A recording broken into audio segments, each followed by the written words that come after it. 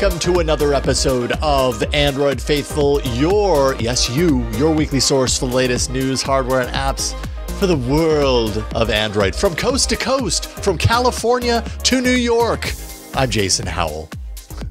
And I'm Ron Richards. And I'm Mishaal Rahman. And down to Texas, sometimes China. We got, and... all, we got all over the map. So, yeah. so this week is a little different. Like we talked about last week, we are not live streaming this week. In fact, this is pre-recorded. Mishaal, Jason, myself, we're together here. We're recording Sunday night, uh, July 21st, uh, because we're all going to be gathering in New York on Tuesday, uh, the 23rd, uh, for an event at Google of which we're so excited that we actually have an interview today yeah. on the show. We're going to have an interview on this show for you guys to enjoy.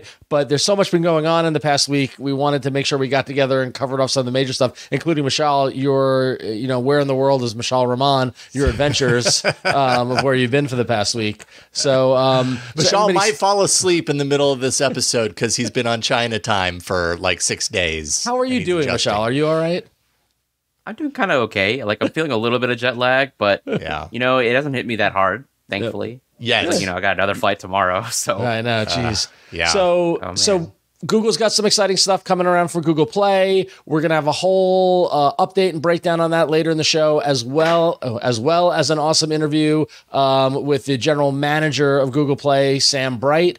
Um, so we're really excited to be doing that. Um, but first, uh, let's get through what's been going on. And first and foremost, Mishaal, you you you you were in China. Why were you in China, sir? So I was invited to China by Xiaomi to attend their actually it's like the Lei Jun Courage speech where he basically spent the big chunk of the speech. It was like a full three hour event talking about you know his idea for why they the company wanted to launch an electric vehicle. Well, for those of you have, who don't know, China uh, Xiaomi actually makes and sells electric vehicles in China, the Xiaomi SU7, and um, they talked about and they unveiled like a new concept version of that car with like a, a new engine. But of course, you know, this is Android faithful. We're here to talk about Android devices primarily and mobile devices. Yeah, yeah, yeah. But half, before all that, did you get to ride in the car? I got to ride in the car. I okay, did post a video good. of it on okay. YouTube. Does it goes car zero to is... 100 kilometers per hour in 2.87 seconds, which oh is really, really fast. Does it have wow. Android Auto inside of it? No or Xiaomi Auto, or I mean, it, the, the the in vehicle infotainment center that runs HyperOS, which I believe is probably Android based, but there you go. You know, it's so heavily customized. Like it doesn't have Google Apps or anything because it's of course it's a China market, yep. like EV. Um, so I, I, don't really know what's under the hood, but I, am pretty sure it's probably Android based. Yeah. So it was a whole event about cars. Was there anything Android else at the at the event? Oh yeah, the first half of the speech was about the cars, which was really impressive considering he spoke for like three hours straight. Oh my god! Uh, the latter half was about wow. a whole bunch of new devices. We had a new foldable book style foldable from Xiaomi, their fourth generation Mix Fold. We also had their first ever Mix Flip device, which I'll talk about next. Um, they also had the Redmi K70 Ultra. They also had a new smartwatch that doesn't run Android. They also had some new earbuds. And yeah, they also announced some other IoT stuff that actually I did get to go to a Xiaomi store in China. I'll look forward to that vlog later. There's just okay. so much cool stuff that we don't get here in the U.S. Yep. But Refriger- something that I did get. That's all I'm here for is the refrigerators. So just yeah, let me know when that happens. Refrigerators. I saw some of those. Yeah. all right. Tell us about some foldables.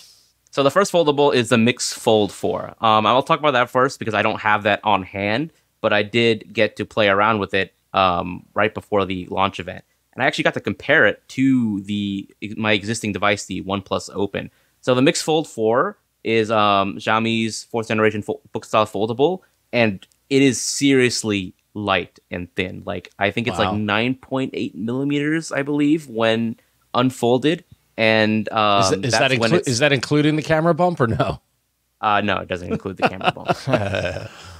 but yeah, like I thought my book style OnePlus Open was already like like the peak of foldable hardware after using it. And I, I you know, I think a lot of us agree the OnePlus Open is an amazing device, mm-hmm. but the Mix Fold 4 just felt like in a league of its own. And I, you know, I know really? there's several, there are a few other devices that are supposedly as thin as light, but I have not been able to try those out. My the Mix Fold 4 is the first such device that I've been able to try out, and wow. I am really looking forward and hoping it eventually launches globally. Um, wow, you really like, see the difference. You can see in these photos like, right here. Approach you can see the, the difference. hinge, right? Yeah. So for, Dude, this for, for like, audio tiny. listeners, Mishaal, Mishaal took some photos of the uh, mix fold next to the OnePlus Open, and the OnePlus Open looks chunky next next to Yeah. this next to the Xiaomi Big phone. time. Yeah. That's amazing. impressive. wow. Yeah. Yeah, and it's also seriously lightweight. Like I was able to hold it pretty comfortably in one hand, and of course, it's too big when it's unfolded to actually use comfortably one-handed. But you can hold it one-handed, and it doesn't feel like too heavy on your palm. And speaking of which, all the corners, all four corners of the Fold 4 are curved. So even when you're holding it completely full, like closed shut or unfolded, it doesn't dig into your palms like some other foldables might. Like, yeah, I saw uh, it here, right? Like yeah. with the open, you get Yeah, that that's kind that's of like one of my gripes with the corner. OnePlus Open. Totally, totally. and And that looks really corners. seamless and nice and clear. Yeah. Yeah. Interesting. Yeah, since I don't have the device, I can't talk about the cameras or like the display quality or anything really else. I can just talk about as in just my brief 30 minute hands on in hand feel. field phone feel, yeah. And uh, one thing you'll notice if you're looking at the photos right now, um, audio listeners, obviously you, you're gonna have to look at the album that we'll share. Yeah, we'll put a um, we'll put a link in, the, show notes to the album. Yeah, yeah. The camera bump that is a seriously thick camera bump. Like they put some chunky cameras on this foldable. Um, I believe one of them is a 5x periscope, 10 megapixel sensor. Um, the main one is a I think 50 megapixel, and it has, it has four cameras. You know, I don't know off the top of my head the exact specs. You can read about my article, my article on AndroidFaithful.com that goes over all the specs and features of the Mix Fold 4 if you're interested. Um, of course, if you are interested, you're unfortunately gonna have to import one from China because this is not being sold globally yet. Unfortunately, What are the odd, what are the odds of it rolling out globally? You know, what I mean, like what? Uh, how often does Xiaomi go down that road? You know, In they the have US, they've never they released don't. their foldables have never been released globally yet. right? Yeah. It's only been China market.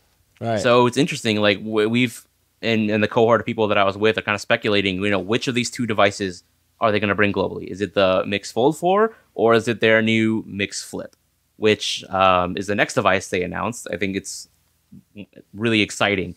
It is a clamshell folding phone, aka what Win likes to call a flippable.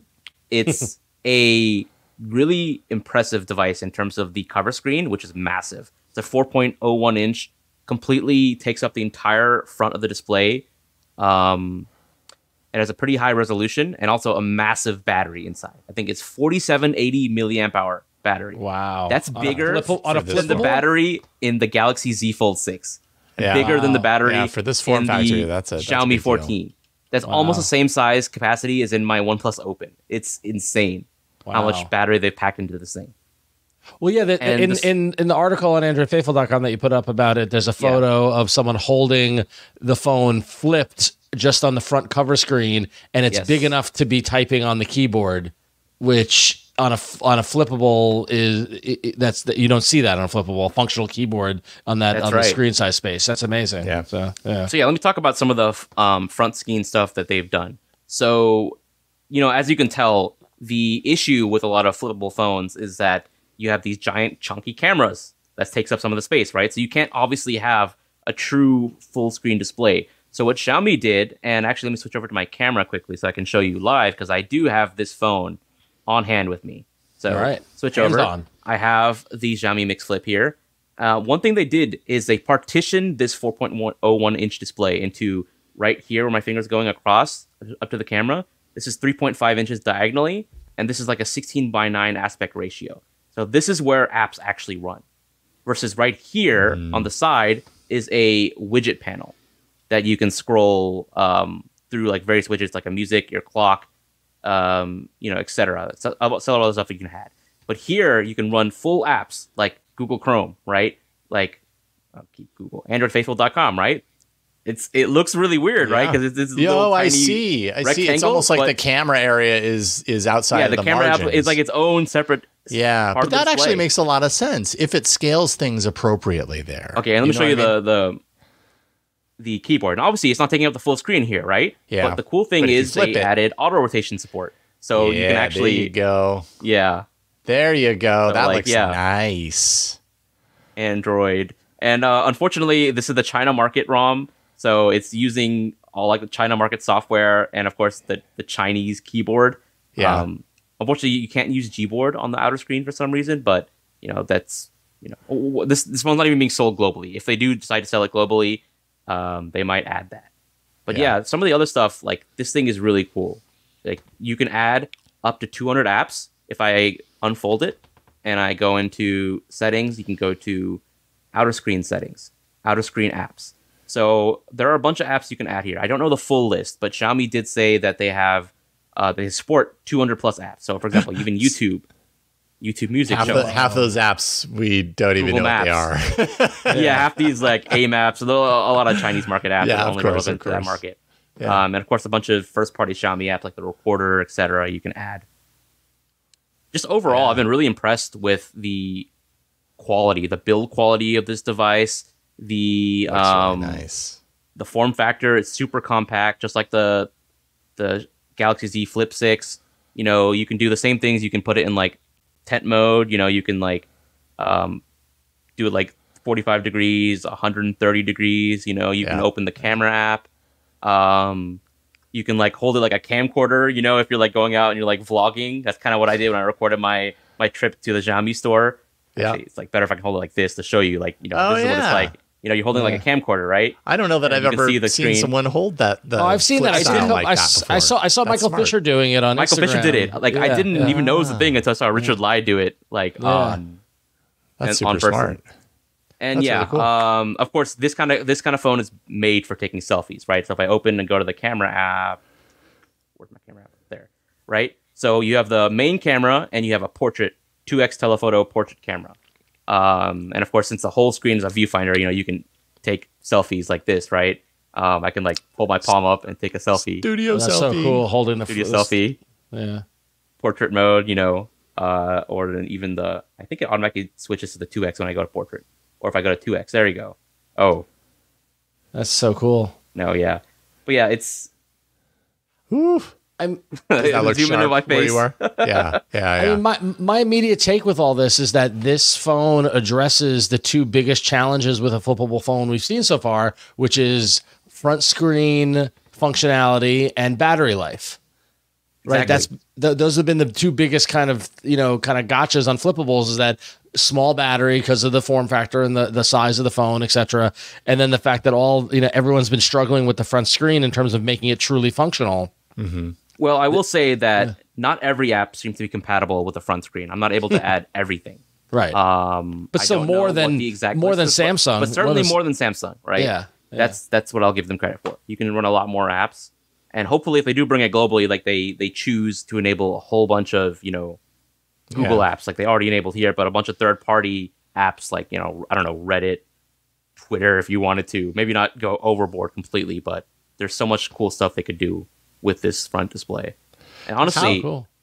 if if you uh, how much um like familiarity do you have with the Z Flip series? And I guess where I'm headed is when I'm looking at this in your hand, it does like it's not as thin it's not as thin and narrow as what we were seeing in the pictures of the fold right like this has a little bit of a thicker quality to it i wonder how it compares to the z flip as far as that's concerned i know it's got a bigger uh, battery so that might 6.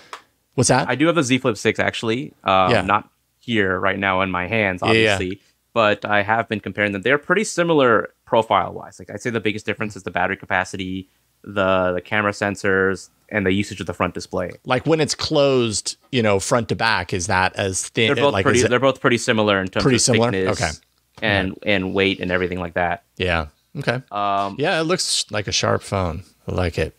Yeah, and the crease is barely visible and like barely tactile. It's kind of like wide, so you can clearly run yeah. your finger through it without feeling much like of the crease going. That challenge it. has improved over the years, and also I think our forgiveness has improved over the years. Yeah. You know, when it was a fir- when it was a new thing and we weren't used to seeing that on screens, it was yeah, now a really big deal. And now it's kind of like, no, you know what? That's part of foldables, and it's not the end of the world. It really isn't. When you've got contents shining into your eyes on the screen, you, you right. kind of don't see it really. Uh, so I know these are China only, Mishaal, but what are the price points on the Fold and the Flip? Just to give context, like is this you know price similar to the Samsung phones or cheaper, or where, where does where does the pricing come in? Uh, off the top of my head, I don't remember what I wrote. I did write the prices in Chinese RMB at the bottom of both articles. I'm going to check that. And right I will now. note that almost 100% of the time you cannot directly translate those numbers into yeah like Z US Flip, dollars and have it make yeah. sense. Z Flip, yeah. uh, fifty nine ninety nine won for the 12 256 model,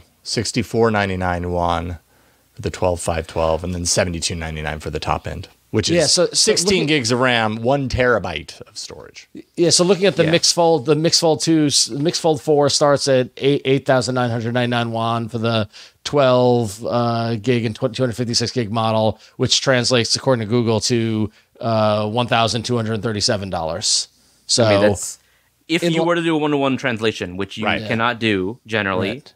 Right. That's like about six hundred dollars cheaper than the Z yeah. Fold Six. Damn, look but at I'll stress again, photo. you that cannot do a one to one translation. They almost never release at the same price globally. Right. Yeah. Yeah. There's there's there's tariffs and all the stuff that has to be uh, applied. Yeah. And that, yeah, that, you can't. Just to be clear, you can convert won to USD like I just did in Google, but the price won't carry over. Yeah. Exactly. Right. Like the pricing would change once it comes over yeah, to the states yeah. or whatever. Yeah. Yeah. So it's not um, an apples to apples comparison. yeah for sure. Cool so I just want to ask Sweet. you two a quick question. This is something I ask my Twitter yeah. followers. Um, what do you guys think of flipables? I know we're like this kind of device is targeted more at women or people who just want a really compact phone. Um, but like, what do you guys think of flipables of compact? I like am this? tempted because the Z Fold 6 was the first one, not the first one, but like the most recent one. And now this one, seeing it in your hand, when unfolded, looks like like if you if you showed me that unfolded and said this is not a foldable phone right. i would believe it right? Like i wouldn't i would think it's just a regular phone right? Um I, i've been tempted since the razr came out and since the fold came out because i love the idea of the clamshell design. I love the small form factor. I love all that kind of stuff but all the all the limitations have kept me from it the battery life the front screen being novelty um, but this is the first one that's got, and the Z Fold 6 to a certain degree got me like, I'm, I am tempted by it. I don't know, Jason, what do you think of them? Yeah, I'm su- I'm super pro flip. Um, yeah. I think it's a really strong form factor. Um, I have yet to live with a flip. Like I've seen them. Like I'm a flip tourist, not a flip you know what I mean?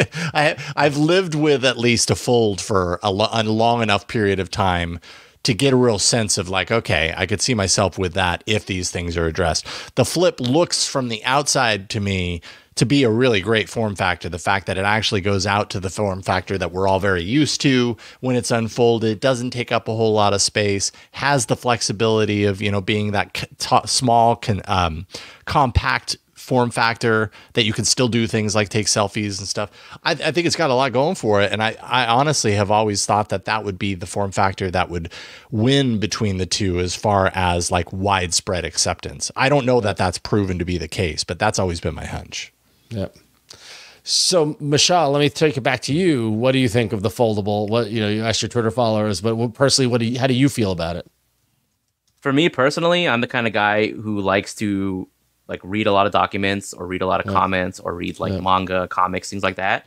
Yeah. So I personally so prefer the, the, book style foldable, but this has a lot of appeal. It's like a smartwatch on your hand. You know, you don't always need to. You can like walk around with it, have Google Maps open, like quickly pull it out, have like your your um your wallet card showing. You know, I think it's really mm-hmm. it has a lot of it makes a lot of sense for a lot of people.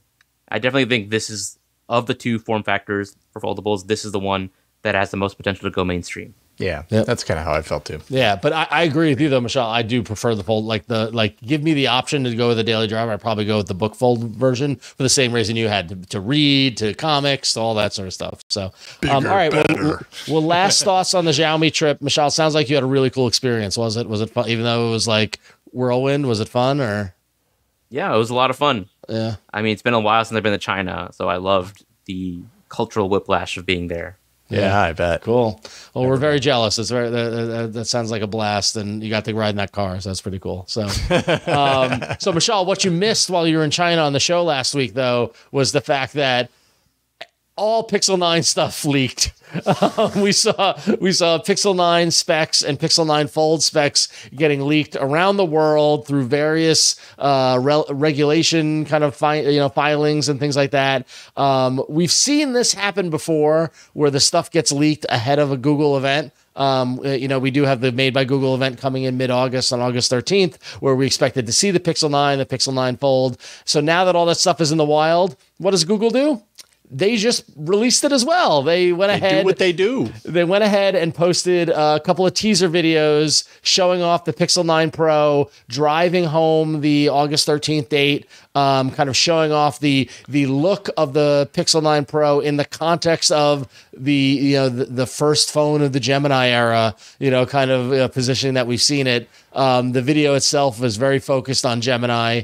Um, and then, uh, um, uh, you know, yeah, then, then, showing off the phone in a little purple hue, and you saw the white, the white phone with the with the the camera bump or camera island as we've been seeing in the renders. Um, so the Pixel 9 Pro is real; it existed. Um, it exists. It is coming. And then on top of that, so shiny. I know. So the, top, the, camera bump is just so shiny. I like the camera. I got into I an argument. I, I, got into an argument with Burke over it. Burke hates it. I think oh, it's I great. Like it. I think it looks Star Trekky. I, am on board. I'm, I'm um, on board. Totally. And so I was like, my first thought upon seeing this, like, okay, they got ahead of the leaks. That's what it is. But then, nope, they then released a video teasing the Pixel 9 Fold, um, Pixel 9 Pro Fold, which got got ahead of all that stuff as well. Um, again, in the context of Gemini being a Gemini phone, a Gemini fold- foldable, um, the same kind of teaser. You could tell that this was a bit of a scramble because they had this video in place and they just plugged in the different, you know, kind of phone styles. Um, but we saw the Pixel 9 Fold with the same camera setup. The phone opens up, says "Oh hi AI." AI. Um, the double height uh, camera camera bump on the fold, um, which I also I like. I don't know, Mishaal. What do you think of these uh, now that they're real and not renders? What do you think of the design? Um, I mean, I think that leak from the NCC definitely made the phone look a lot better than it previously did, like than we previously yep. got from the renders. Like people were thinking it's gonna have like a more OnePlus OpenSoft form factor, and yep. those photos definitely showed that to be true. And I definitely think it looks a lot better than people were initially expecting. Yep. Yeah, the, there's still something about the top, the the two pill thing on top of each other inside of the thing that doesn't work for my eyes. But it's pro. I'm, I've I've been to this rodeo enough times that like I'm gonna armchair quarterback it from from the internet and then I'm going to get it in my hands and be like, "Oh, I get it. Okay. Yeah, it's actually fine." So I'm sure it'll be fine, but there's something about that orientation. Like it looks normal to me when it's in the 9 Pro and it's a single row, but when it's stacked like that, it just kind of looks like, I don't know, what do we do with the pills? I guess we just put them on top of each other. Okay, well, let's move I mean, on. We, I mean, I don't know what just, else you we, do, but we, we just looked weird. at the, we just looked at the Xiaomi uh, Mix Fold, which has the cameras stacked in a similar fashion to a certain degree, right? I mean, Mishaal, yeah, you saw it in person. No, right? I mean, I mean, it's mm. not that the configuration is wrong. It's not like yeah. having the cameras in a, in like a square. No, yeah, there's just something about the like the the, the two pill. I don't know. It's it's a silly thing. I fully admit it's silly, but when my eyes see this it it looks messy to me, and I'm yeah. I'm expected to be proven wrong when I see it in person. I can't wait to get our hands on it. I'm excited. Um, yeah, I'm excited too. And then one other note that came that came out while all this stuff was happening was apparently um, uh, if you pre-order the Pixel 9 Pro, in a bunch of different countries uh, right now, not including the U.S. We'll see. Um, Google is promising to throw in a limited edition collectible. Um, this oh. is a, this is visible on the Australia, Japan, and Singapore Google stores, saying that it's a special gift for our first orders, and it's described as a piece of Google Pixel design history, oh. um, exclusively for the first orders of the new Pixel 9 Pro phones, um, and which shows that the regular Pixel 9 buyers uh, won't be getting this giveaway. Uh, the Taiwan site uh, reveals that the items in translation are quote unquote original Google Pixel design posters, um, which is kind of weird. A design poster, like I don't know. I'll be curious to see what those kind of are. Are you gonna um, hang it on your wall if it's a poster? I know, that's pretty cool if you're really into it. Um, this seems to be an Asia Pacific thing, um, and you know, in, in the past yeah. they've offered up like cases or things like that. Um, it would be cool if they made this worldwide or figured out some way to make it U.S. based, but um, it's a little bit of a little bit of extra to get people to entice people to go to the Pro. So just a little extra. Yeah, we'll mm, see. Okay, maybe it's a pair of Google Glass. Yeah. It's like a, they have a bunch of old stock on hand. And they're like, well, how do we get rid of it? Well, it's just maybe a piece of history. No, yeah. it's probably not. Yeah. Right. Anywho. So then, Mishaal, you hit the ground back in the States, and then what happened?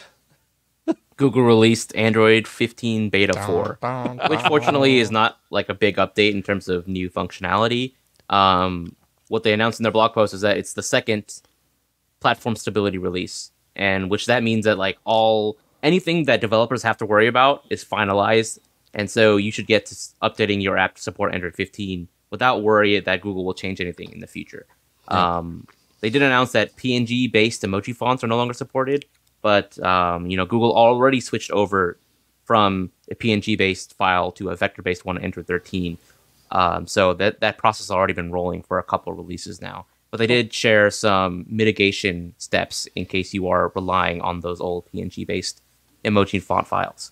So in terms of anything that's actually new in the update, there are just two smaller things that people have noticed. Um, the first one is something that actually I discovered is a hint within the settings app that there's going to be a new charge limit functionality for Google Pixel devices. So for those of you who don't know, Google has already offered an adaptive charging feature for a while now that basically automatically limits the battery from being charged beyond 80% um, once you plugged in your phone for too long or like a couple of hours before you're before you're scheduled to unplug it based on what the system detects. Now they're working on a manual charge limit feature that'll let you automatically, sorry, let you manually set the battery to be uh, stop charging at 80%.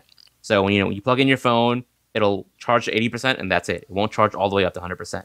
And the reason you might want to do that is for prolonging the battery longevity. So um, it's, it's been widely understood that charging your battery to about 80% instead of 100% um, consistently will allow you to prolong how long that battery will hold its charge. And the reason for that is just, you know, chemistry and the way batteries work, and, you know, lithium, charging, discharging cycle, stress on, yeah, you know, yeah. it's charge chemistry stuff, right? I'm not a chemist, mm-hmm. you know, mm-hmm. so I can't really explain it. but you know why it's important right yeah. now. You know why it's important. You want you're going to keep your phones for seven years, which Google is le- promising exactly to it. support for. Yep. You want to make sure your battery actually lasts that long without exactly. having to replace it. And think about this is knowledge that we did not have 10 years ago, right? When we were like, why is my battery dead after, you know, you know, we, yeah. what they've learned, what a combination of what we learned about battery technology and science, and then also how what Google has developed in, in terms of how to manage that effectively, which is interesting. So, yeah. And the else? other thing that people have discovered is that if you activate the Easter egg in Android 15 Beta 4 now, um, you're actually able to, once you land on a planet, going through the, the spaceship game Easter egg, you can plant a flag on planets now. And that's something I actually discovered um, a couple of months ago or a couple of weeks ago. And that was one of the Patreon poll picks, but it lost the Patreon poll pick. Yeah. so unfortunately, we didn't get to talk about it on the show. Um, but the other thing that's new in Beta 4 is that once you activate the Spaceship Easter game, you actually get this new screensaver that basically is the game, but it's on autopilot. And it's a screensaver that just basically hmm. plays the game and you see the ship flying through space and trying to automatically land on planets, which is kind of cool. That's nerdy and this, neat. I love it. Yeah, totally. Yeah. The Landroid screensaver is what it's called. And it's a little reward for finding it. I like that. That's fun. So, yeah. yeah. Hmm. Cool. Neat. Very cool. All right, so we are we're close to launch. So do we think right now let's revisit our bets. Do we think that they're going to launch Android 14 at the Made by Google event in mid-August? Oh, any like um, new features to Android? No, no, like like Android. I'm sorry, Android 15. Like Android 15 is final release out the door. Oh, oh. Yeah. I think early September.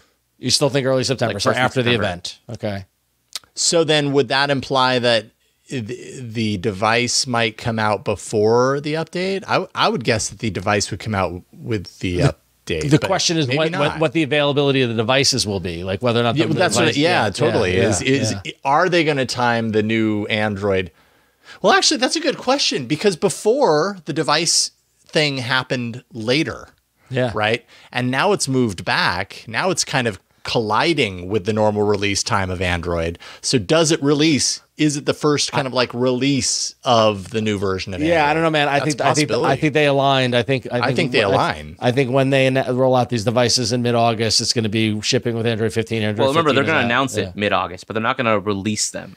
That's like, the question. We don't know. The but, day of. Yeah, we don't right. know what the device availability will be. You know, and so. but that but that actually makes it, in my mind, more likely that it's probably going to launch with the yeah. new version of Android. You know what I mean? Um, I well, yeah, so. of course they, will launch with Android 15, but yeah. whether or not Android 15 will roll out to right. existing devices, I think that'll happen probably once the devices start shipping. Mm-hmm. Yeah, well, yeah, that, that's a fair point. Yes, absolutely. Um, in other device releasey news, there is a little company called Nothing. You may have heard of them because we talk about them a lot. Um, a new phone, although it's a new phone, kind of like an old phone, but a little newer. called the Phone 2a Plus, which honestly we know very little about, next to nothing about. All it says is plus, more, extra. An extraordinary new smartphone is coming on July 31st, 5 o'clock Eastern. Um, okay, EST, so that would be 5 a.m. Eastern, I guess. Um, and yeah, so this is interesting. So you've got the phone 2A, then you've got the two, or sorry, you've got the phone 2, and then a little bit later they released the 2A, which is like, okay, we stripped things down. And now we're putting it back, but not quite going to where 2A or the 2 went. See, it's kind of confusing. I don't know. What do you think? Yeah, I don't know. What's going to happen? like the phone 2A was their mid range. Yeah. Well, yeah. The is 2 this going to be like premium. a flagship version of it? Surely the, that would just be the Nothing Phone 3. That would be the 3. Like, I don't think this is going to be a flagship. No, I don't think it's going to be a flagship either. It's Is it going to have a different chip? Is it going to have just upgraded right. screen? Right. Maybe upgraded Is it going to have AI? How Is much it going to have? Are they going to change? Yes, yeah. right. Um, well, what, what, was the system on a chip in the 2A? Wasn't it a Dimensity, Dimensity 7200 Pro? 7200 Se- Pro. Okay. 7200 Pro. Um, maybe an update to that. More glyphs. No, I don't know. if we're lucky. yeah, they're like, there is no change on this phone from the 2A except we've added two more LEDs on the back. I have no and, and here's our full announcement event. Um, yeah, I have no idea. I'm, I'm super curious because it really does seem like okay. So then you're going back to the two, or would it be the three? Yeah, I don't know. It's confusing, yeah. a little strange. We'll find out. I'm curious. We'll find out on July 31st. We'll find out yep. together. All right, we All got right. some apps. Yeah, we're gonna so, do some apps before, and then we're gonna get to the interview. That's coming up. Yeah, so a couple, a couple of app news, uh, just some notable releases. A couple of things came out. I know a lot of people are asking for more app stuff. Um, Notion, uh, the fo- folks behind uh, the the productivity app Notion, which a lot of people swear by, you know, in terms of you know, write, you know, kind of writing notes and organizing them and and all that sort of stuff. Um, they've developed a calendar app um, I've actually been using Notion Calendar on the on my Mac desktop for a couple of months now, and I it's been able to take all of my various Google calendars, merge them into one in a nice clean layout. I've actually switched to using that versus using GCal, um, and so I've been waiting for them to release an Android app, and sure enough, they have. Um, so now Notion Calendar is available for download in the Google Play Store. Um, again, if you use Google Calendar or Outlook or any other calendars, it kind of is one of those we're gonna you know bring all your calendars into one spot kind of solution. Um, and again, I've been happy with it on the, on the desktop, um, so I'm assuming I'm gonna be happy with it on, on Android. Uh, I've downloaded, and installed it. I'm gonna start using it this week um, and we'll report back. But if you're a Notion user, you know how what their kind of approach to software is. Uh, you know the clean kind of design and all that fun mm-hmm. stuff. Um, I enjoy Notion Calendar a ton, so uh, I'm excited that it's available mm. on Android now. So, yep, very nice. Looks slick. Yep. So definitely, definitely recommend that if you're if you're looking if you're looking to replace GCal, um, which if you ask yeah. me, all these years later, a lot of these Google apps are getting very bloated and heavy and like messy. Not messy, but just kind of. Do you find Google Calendar? I do. Uh, bloated I do. and messy. I do. Huh. Yeah, yeah. So, especially when I've got nine Google accounts that I'm on my phone, three or four of which I'm managing calendars. It's kind of yeah. my own problem, I guess. But yeah, so yeah. You did it to yourself. It's true. That's why it really hurts, Ron. Yep. uh, sorry, had to get a little Radiohead in there for those of you who are too young to know who that is. Uh, there's a few of you out there, I'm sure. Yep. Anthropic has a new Android app. Uh, it's Claude, finally coming to Android. Actually, brought um, that LLM's app to iOS a couple of months ago and now been shown on 9 to 5 Google, writing that it is now on Android. For those of you who like to use Claude directly, I've talked about Perplexity many times, I think, on the show at this point, and Perplexity uses Claude as, along with a lot of other LLMs. And so I end up using Claude a lot, just not through their app. I use it through Perplexity. So This is one way to just get direct access to Claude itself. I find Claude to be a fantastic a like text-based LLM. Like if you're like writing, you know, you need some writing assistance or some summary assistance, that sort of stuff. Claude is like one of my preferences. So I've I've heard similar things that Claude is yeah. very very good from what I've yeah, heard. So really good. Cool. So yeah, there you go. Uh, with the like it becoming an Android app is is it like at all comparable to the way Gemini is integrated as like an assistant on your device? Oh, that's that's a and. Of course, question. Gemini has a lot of I'm, issues in terms of what it can do. But like Claude, you yeah. gotta manually open and then manually enter, right? You can't just well, say, same thing with like know, the yeah. the Perplexity app. Like same thing with the Chat GPT app. Yeah, exactly. Yeah, yeah. I think it's on the same level of that. I think I think what what you're talking about, Mishaal, is Gemini integrated at the OS level and as part of like a truly using the assistant APIs and everything. Exactly. Yeah, a lot of these apps it. have a ways to go. Yeah, yeah, I, I highly doubt that this well, has any of that tendril stuff. And that depends. On. That depends on what you're using it for, right? Like if you're using it for an assistant, a, a, artificial intelligence on your phone to help control your phone, stuff like that, or using it for access to an LLM for a search engine result or a task or something like that. It's all what the what the context is, right? Yeah. So yeah, yeah, yeah for sure. Interesting. Um, and last on the app side of things, just a little zeitgeist world. The Olympics start this week. Uh, the the international do? gathering of athletes are happening in Paris. Um, so you might be wondering how you can watch the Olympics via your Android devices. Well, there's a couple of different ways. There's actually of course, an, there's an app for that. Of course, there's an official uh, uh Paris Olympics 2024 app that you can download that has the schedules and it's a, they are streaming video of different events and things like that. Um, so you might want to check out the official app. That's one way to go. Um, for those of our audience who are in the United States, um, Peacock really seems to be the the go to spot. NBC uh, uh, NBC Universal has the exclusive rights to the Olympics uh, here in the states, and this is something where um, a couple of years ago, the last Olympics, you know, uh, Peacock existed, they didn't really take advantage of of what they had with their own product. And it seems as if they've learned that and they're ready to have Peacock kind of step up and be like the go to app to get everything for the Olympics.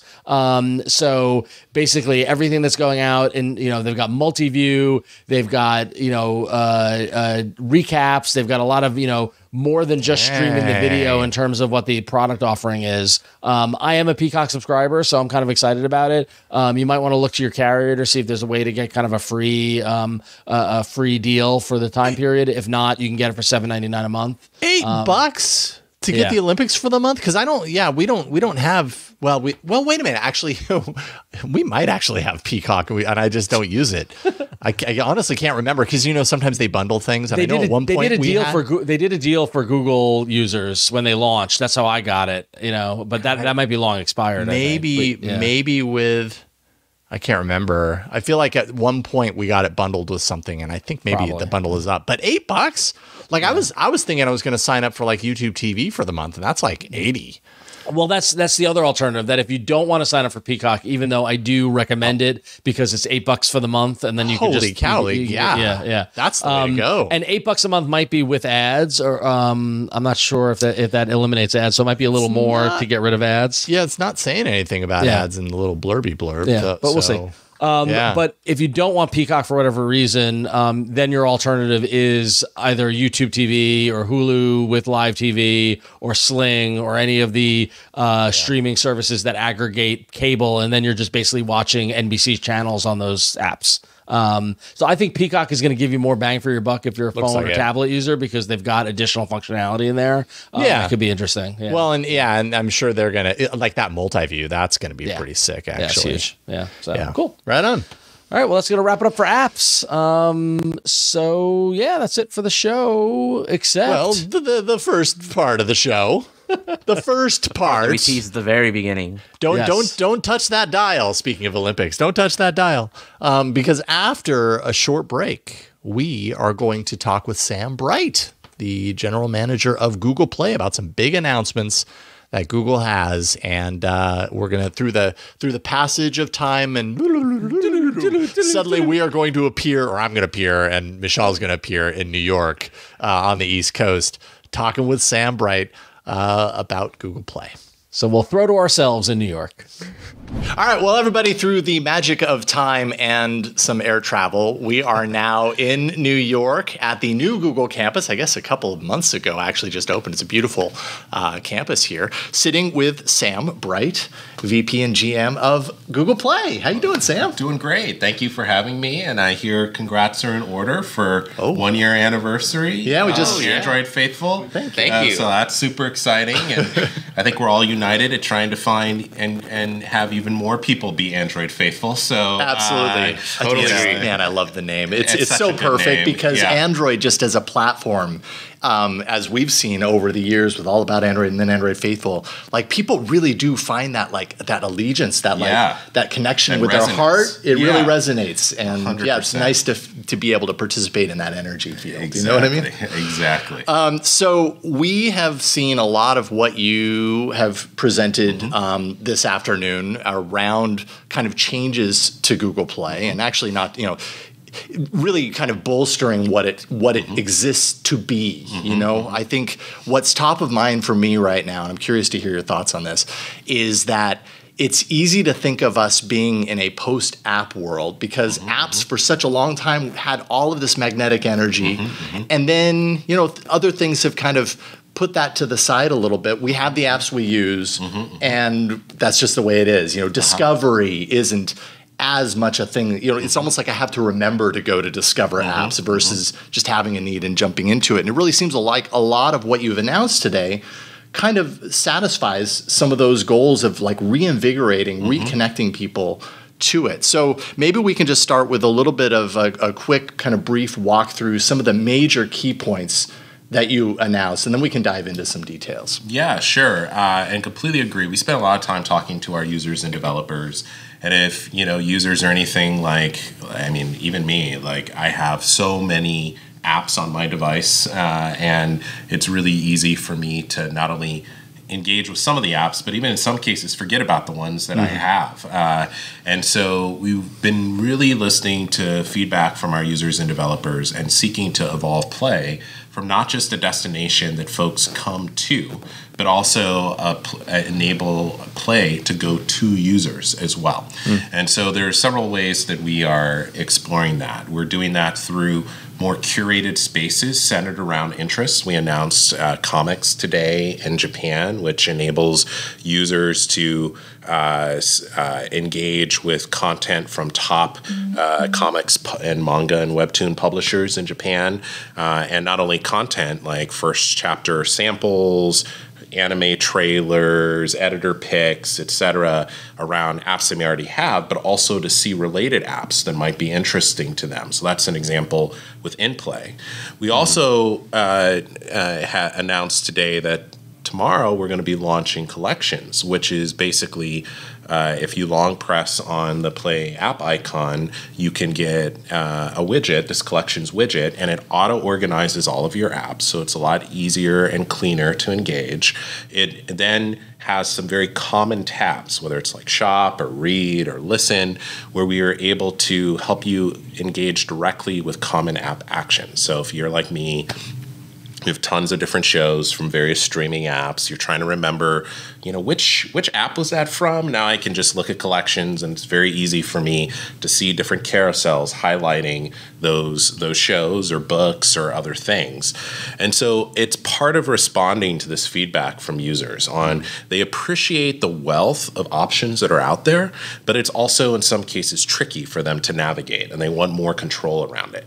It responds to the feedback from developers too, because developers want to find the way to get their apps in front of users and highly engaged users. You can imagine a comics app developer knowing that they can reach users who have already expressed interest in comic apps within and comics within Japan gets really excited. Uh, a developer, you know, we, we just launched with, you know, 35 developers in, in collections, like a developer who may have had a cart abandoned or something along those lines. Now it's really easy for the user to pick up where they left off.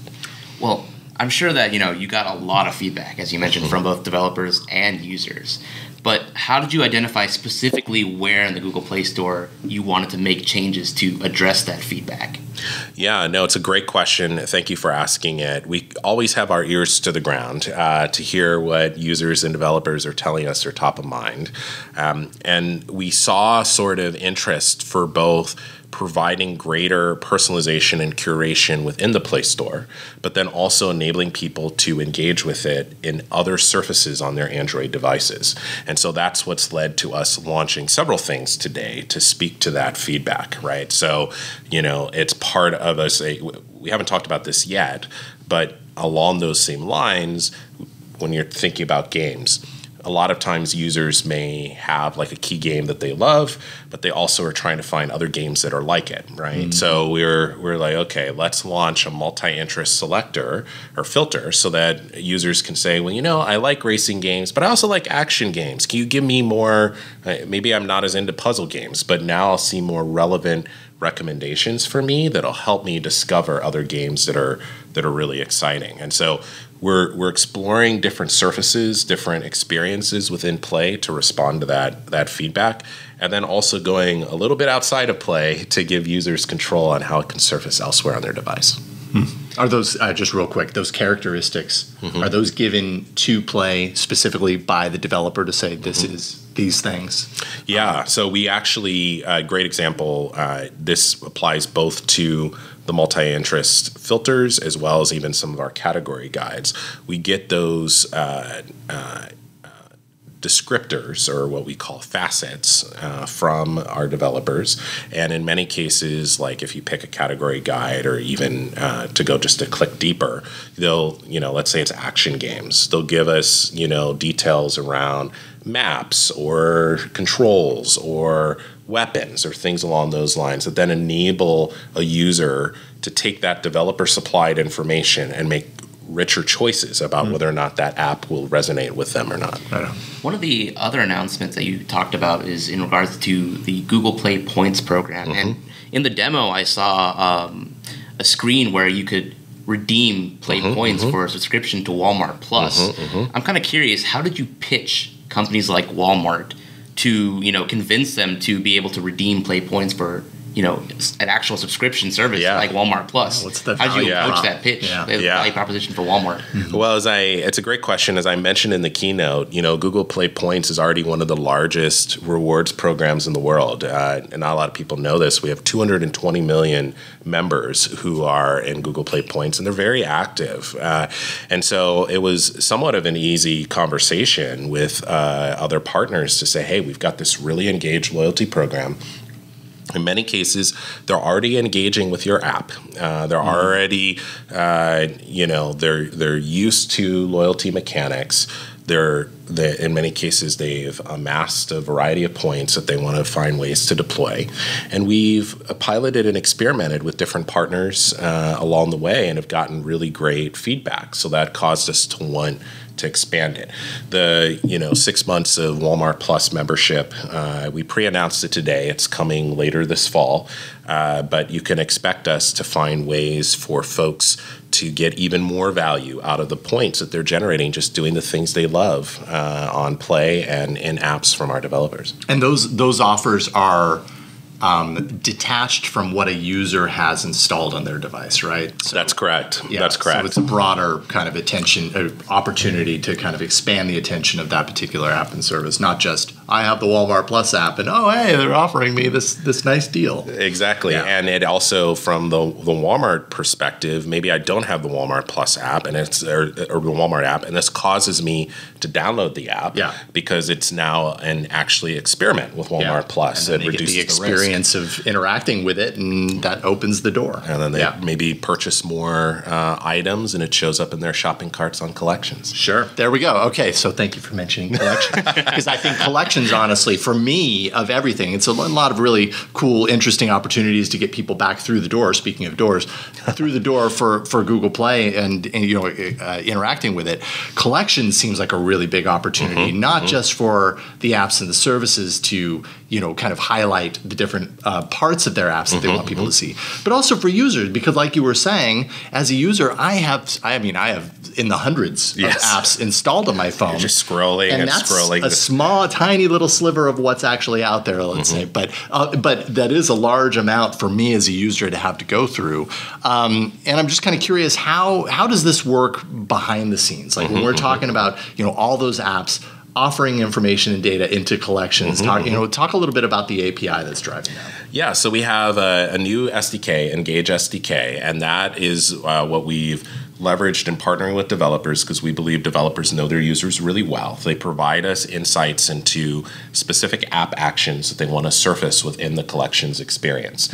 And so that's, you know, we've kind of like uh, grouped that into specific tabs. That's why there's things like shop where you may have carts, there's things like watch where you may have picking up where you left off in shows. There's things like listen where you'll see different carousels that feature you know mixes that may have been prompted for you know YouTube Music or Spotify or others, and you have things like read where you can pick up where you left off. But that gives the developer choice as to like what are the you know what are the most likely engaging moments within their app that a user is going to want to jump back in uh, Or through this. remember. or remember You know, yes pick, pick up from where they left off. Yeah. Exactly, exactly. And so I find personally that I'm jumping into these apps more frequently that are within my collections because I'm automatically being surfaced something that is very relevant. I don't have to remember like where in the app that really relevant piece of content was for me. And so, you know, we're we're starting with a set of developers, but there's a long list of folks who'll be coming over time.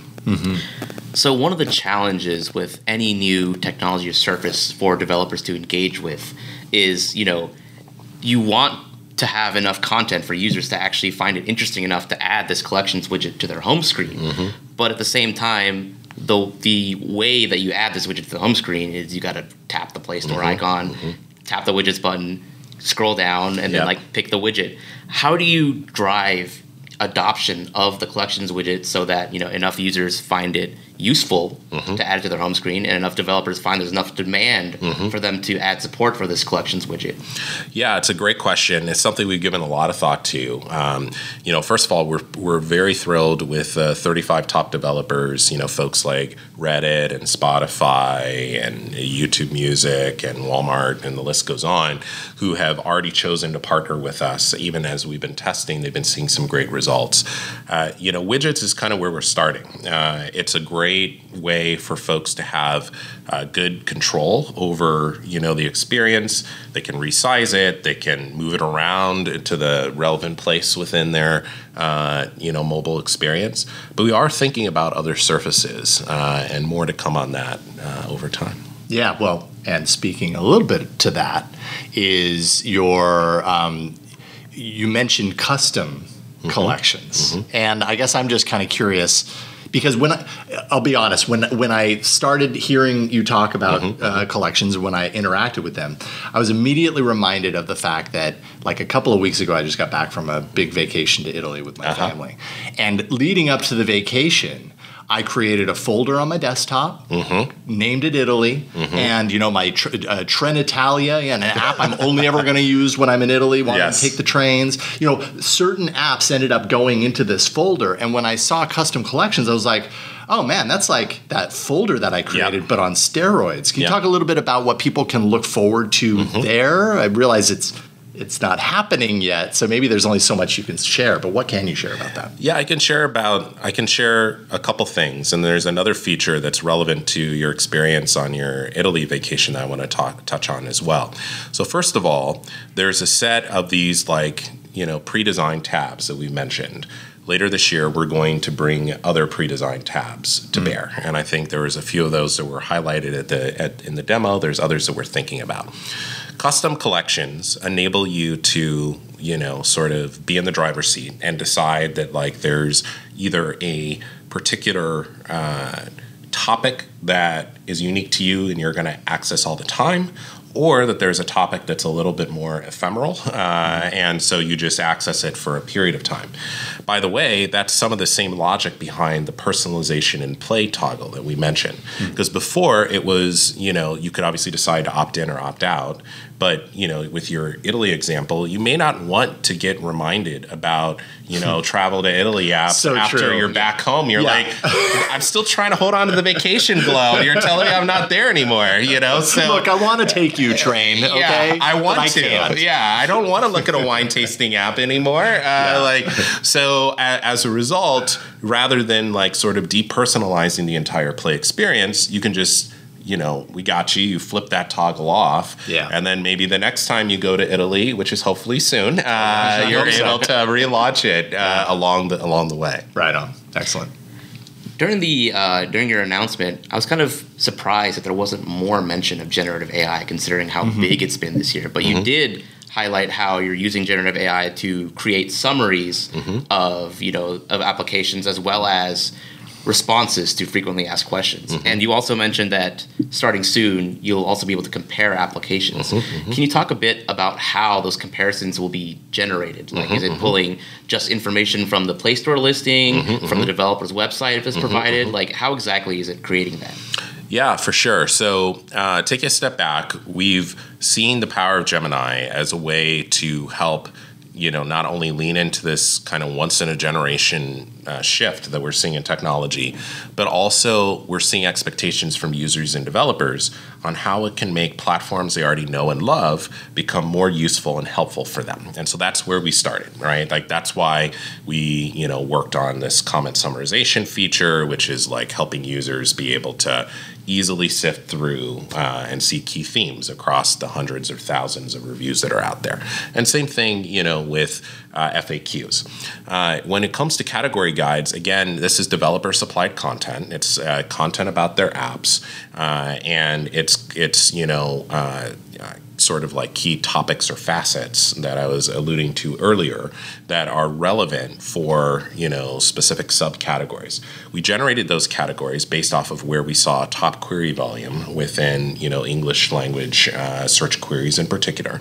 That's where we're starting, uh, and uh, right now it's all you know app generated content. Is there an opportunity down the road to look at you know helpful, high quality web content? Maybe we're not at a point where we can you know announce that right now, but at least for now, it's a lot simpler to just look at you know some of the app details that developers have already shared. Um, one of the demos that you had was for the Google Play Games on PC experience, and I noticed that you know you were showing off all this demo. It was connected to a I think a Razer laptop. Me personally, I recently bought a Snapdragon X Elite powered Uh-huh. ARM PC, and I'm sure there are people you know who have such PCs they just recently purchased and are wondering. Does Google have any plans to bring Play games on PC to you know ARM Windows laptops? Yeah, so we've been really excited by our Google Play games on PC journey. You know, as you know, we've been bringing games to Android devices for many, many years, and we've been excited and gratified by the response from developers who have scaled the number of titles we had from a few hundred last year to over 3,500 this year. Uh, as we've been scaling this experience, we've been hear- hearing feedback along the journey, which is what caused us to launch the ability to be able to play multiple games at the same time. Uh, you know, do I have anything to announce right now about uh, Windows on ARM? No, uh, but we're always listening to. Um, we're always listening to feedback from from users along the way. Speaking of feedback and speaking of uh, Google Play um, games on PC, the multiple games at once feature. I'm sure it has a better title than that, but that's what I remember it as. Everything, everywhere, all at once. Yeah, Uh, that might really- be that might be taken. Yeah, I Uh, yeah, I think I've heard that one. you heard that one before. before? Okay, Uh, I'll But, defer uh, to the marketing team instead. yeah, de- definitely don't use that one. I can, I can give you that free advice right now. Um, I, like I, I play games. I play Yeah. games very casually. Definitely not to the the scale that I'm thinking I need to pull up multiples on a screen at once. But I uh-huh. have to imagine that struck me as the kind of feature that is probably, I'm guessing, mm-hmm. highly informed to you by the people who are really playing this, mm-hmm. these games. Talk about kind of that experience and kind of that feedback loop of how mm-hmm. some of what you're doing here, and in particular with that with that feature. I have to imagine that came from Oh, from for sure, feedback, right? For sure. You know, uh, we are constantly constructing and reconstructing our product roadmap and the policies and programs and other things that we build based off of like the user research and all the different uh, feedback um, mechanisms we have, not only from users, but from developers, roundtables, advisory boards, uh, and other, you know, uh, ingestion mechanisms. Mm-hmm. And one of the things we heard from, you know, really hardcore gamers is that they wanted this feature. They wanted the ability to be able to play multiple games at once because the game mechanics are such that in some cases you're taking some time for, you know, uh, whether it's, you know, your your castle to uh, to have certain resources get uh, get generated, and then other things. Grinding in games is a thing. It is a thing. you just, sometimes you just have to let it grind. Yeah, and and you may want you, you may want to you know multitask yeah. and do other things, and so you know talking to our you know, uh, high touch gamers is what in, informed this this feature, and I'm sure it'll inform others in the future. Yeah, yeah, indeed, it's very cool. Do you have any last last thoughts before we wrap things up? Yeah, actually, we recently heard that you started up a new position within mm-hmm. Google, leading you know three different teams the Android developer experience team, the play team, and the ecosystem trust team. I kind of wanted to ask you, like, what kind of problems will your new mm-hmm. team be able to solve by consolidating these three I'm assuming they're probably very big originally mm-hmm, into mm-hmm. one cohesive unit. Yeah, for sure. Well, uh, I haven't shared this with, with uh, many people publicly yet, so you know we're breaking news on Android Faithful, uh, like which that. is yeah, like has a ring to it, that. doesn't it? Mm-hmm. Yeah. Um, uh, but I'm really excited about what this unlocks, right? So we formed this this new team, this Play plus Developer Ecosystem team, and really what it's uh, seeking to solve is we want to support developers across their entire app lifecycle, whether it is you know building and testing apps, or it's releasing and updating them, or it's acquiring users, it's engaging users, it's re-engaging users, it's retaining users, it's helping them monetize, all sort of like supported by keeping the platform safe so that you know users and developers can connect and feel like they're uh, having a really positive experience. When you think about that, uh, what, what, this team brings together is a series of different assets uh, to bring to support that, whether it's Android Studio or tools or toolkits, as well as obviously the distribution reach that that you know Play provides, and also the ability to look at trust holistically. The problems we're trying to solve for developers is we want them to uh, be excited and to affirmatively choose to invest in Android. And part of that is being able to build apps uh, for a multitude of form factors, whether that is handsets or it's tablets or it's watches or it's TV or auto, the list goes on, in as cheap and a high quality a way as possible. And in the process, we want them to feel like they get great return on their investment as they're as they're doing so. And so we brought together, you know, this team to really focus on uh, on those capabilities. Yeah, I'm I'm influenced by the fact that before I came to Google, I led product at a developer. And so I was always thinking about like where are we going to invest the marginal scrum team hmm. to try to drive growth for for the platform. Here we're seeking to make the provide the tools and toolkits that are going to help the members of the Scrum team be as effective as possible and want to build for Android, and also help the C-suite, which sometimes uh, we we've heard from listening to past podcasts. You know, individual developers are trying to convince to invest in Android at the same time to pick Android in, in, in the process. So more to come on that. Excited for what's ahead. Yeah, I think the changes that you've announced today really kind of highlight that dedication to making it more appealing mm-hmm. for developers mm-hmm. for you know companies running apps to re-engage or mm-hmm. to engage on a deeper level mm-hmm. and um, yeah i'm really uh, happy that we got a chance to get a kind of a sweet sneak peek today, and definitely happy that we got a chance to talk to you about it. Thank you so much for yeah, for joining you, us on Android Faithful. Uh, yeah, thank you for having me. I mean, the pressure was high for the one year anniversary. You yeah, know, we, had had to deliver. Really, we had, had to deliver. To deliver. Yeah, yeah. If I had known that. No, just kidding. Thank you for having me. This thank is awesome. Thank you, Sam Bright, VP and GM of Google Play. Let's talk again sometime. Let's yeah, do this again. Looking forward to it. Right on. And poof, Sam has walked out the door or he has disappeared and been replaced by Ron place, Richards. We have Ron. It's a big, it's a big seat to fill. No, Sam was great. That was, I, I, so I, for those watching or listening at home, I was behind the camera and the microphones, uh, running things. But I think you guys the had a great. You were I, the I was Burke. Burke. I was doing the part of Burke this week. Um, but yeah, no, I thought you guys had a great conversation with Sam and some Oh, really sexy. interesting stuff coming out of uh, play. you Yeah, know? I'm, yeah. I'm legitimately like excited about um, collections Yeah. specifically. Yeah. I, I see that as being something that, especially as it expands out and gets a little bit more complex, having that customs collect custom collections Yeah.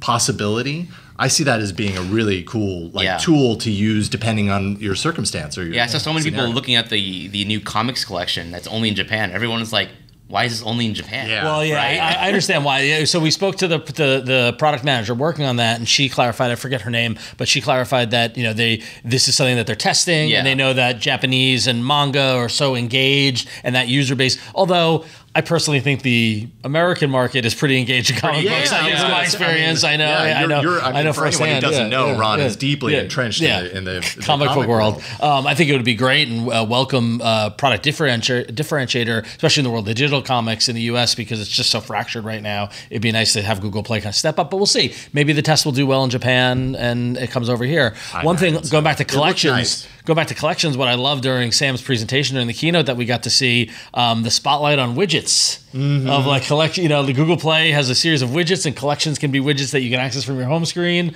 Um, you know, maybe it'll be widget of the week when it rolls out. We'll see. But like, I thought that was Oh, pretty did you hear? He said the widgets are just a start. Yeah, Like yeah, yeah. exploring other ways Yeah. to you know surface collections to users. Well, and that's really and that's really what it was. A lot of the conversations that we had with folks here at Google during this event, dur- during this great day that they, they hosted for us, was around how, and we talked about amongst ourselves, how Google Play has really just become this utility that you go to get apps and you don't really spend a lot of time in. And honestly, I know, like, I know I should read reviews and look at, but it's overwhelming, right? Like, there's a lot of information in there. So, like, I'm in Google Play to go download an app or go to update an app, and that's it. I was going to say, And ninety nine percent of the time, you already know what app you're going to download. Yeah. Yeah, or it's just going to update for you, Yes. and you. Why hasn't I was- updated? That just Yeah. reminded me, Yeah. like I had this flashback of I don't know how many years ago, how often I would go into Google Play and Yeah. check my updates tab. I'd be like, Yeah. oh, you know, just waiting for that app that I use Yeah. every day to have an update because Yeah. I wanted to see what the new thing was in it. And- And, I don't do that much anymore. And the, the marketplace has become so. I mean, like they said, one of those facts they shared during Sam's keynote was that there are a, a thousand plus new apps launched every day. Right, and so Wild, yeah. yeah, it- which is just so it's hard. How do you separate what is worth looking at, and like what we don't know what the next Instagram will be. We don't know what the next big app that that everyone's got to go use will be. So hopefully, you know, some of the stuff they're putting in there have you you know use Play as more of a catalog to browse and discover and that sort of thing. So, yeah, yeah, interesting. Uh, What, what for you, Mishaal? I'm curious. Is the is, is the collections the thing? Like, if you had to pick one thing that you were kind of like, all right, It's the this is- gaming, I think. It's the Is it the it's gaming? The, the Yeah. game changer that's not a game changer for me but the it's just i just find it so amusing the new ability to play multiple games at the same time Yeah. on the pc So you're just grinding like everyone there everyone there was like oh my like or, it was kind of funny right it was Yeah. a funny moment i think people like actually chuckled at that moment Yeah. like i chuckled internally and like i can't see myself doing that but i absolutely know Oh, there's a lot of gamers Oh, I- I who know- are like yes I know- finally. I know If you specific could people 2x who would or do 4x that. your time Yeah. across like Yeah. four different games. I mean, if you're doing if you're doing yeah, if you're doing a grinding game while like so the example they had was tight what Clash of Clans, Clash of whatever, Clash of Clans and Disney Speedstorm, which is a racing game.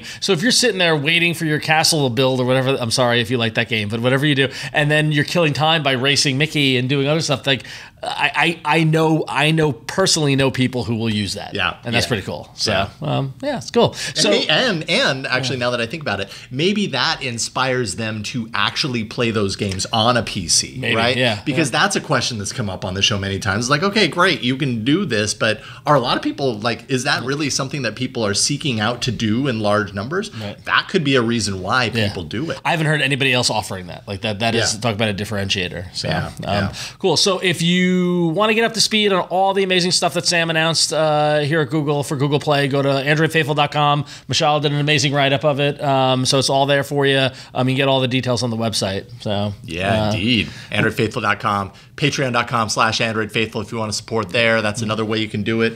Um, emails emails your questions at contact at AndroidFaithful.com. Um, we love to hear from you. Uh, follow us on social, do all the fun stuff. And of course, we want to thank our friends at Google uh, yeah. for helping making this happen. Not only for inviting us to the awesome event, but giving us some time with Sam and, and allowing us to record on there uh, uh here in the office and everything like that. We're getting we're getting to be familiar in the Google offices. Yeah. It's kind of we keep meeting people and they, they they're referencing episodes. I'm like, oh, they're, listening, they're watching, they're reading.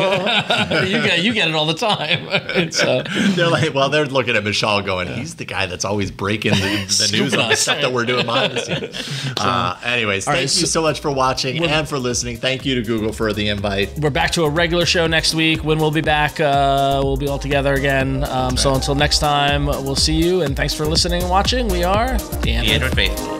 Faithful.